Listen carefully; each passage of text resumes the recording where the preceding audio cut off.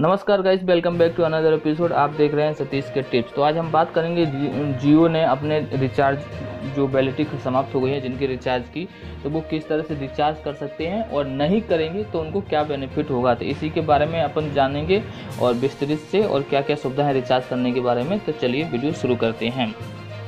रिलायंस जियो ने लॉकडाउन के समय में अपने उपभोक्ताओं का समर्थन करते हुए उनके प्रति जारी जुनून को एक बार फिर से मज़बूत किया है और सभी जियो ग्राहकों के लिए इनकमिंग कॉल की सुविधा जारी रखने की घोषणा की है।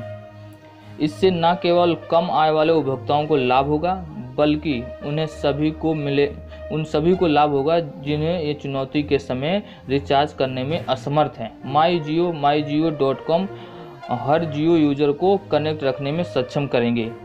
जियो के ग्राहकों के लिए रिचार्ज की सुविधा भी निरंतर बनी बनी हुई है और ग्राहक अपनी सुविधा के अनुसार विभिन्न माध्यमों से अपने फ़ोन पर रिचार्ज करवा सकते हैं। डिजिटल रिचार्ज की बात करें तो जियो यह सुनिश्चित कर रहा है कि हर जियो उपभोक्ता अपने रिचार्ज सर्विस के बारे में अपने प्रश्नों और अनुरोध के लिए my Jio apps, Jio dot com website पर चौबीसों घंटे माध्यम से जियो से जुड़े रह सकते हैं।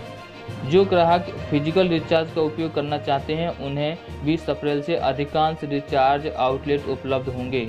इसके साथ ही थर्ड पार्टी रिचार्ज की सुविधा भी उपलब्ध है, जैसे कि फ़ोनपे, पेटीएम, जीपे, अमेजन। इसके अलावा अन अन इनोवेटिव जियो रिचार्ज टूल भी उपलब्ध हैं। जियो ग्राहक बैंक एटीएम से भी सीधा रिचार्ज कर सकते हैं। वे एक्सिस बैंक और एच बैंक के साथ एसएमएस का उपयोग करके भी अपने फ़ोन के रिचार्ज कर सकते हैं। जियो रिटेलर से भी जियो ग्राहक जियो असिस्टेंट रिचार्ज की भी सुविधा प्राप्त कर सकते हैं। तो आई होप कि आपको वीडियो अच्छी लगे। वीडियो अच्छी लगे प्लीज़ लाइक करें शेयर करें सब्सक्राइब करें। Thanks for watching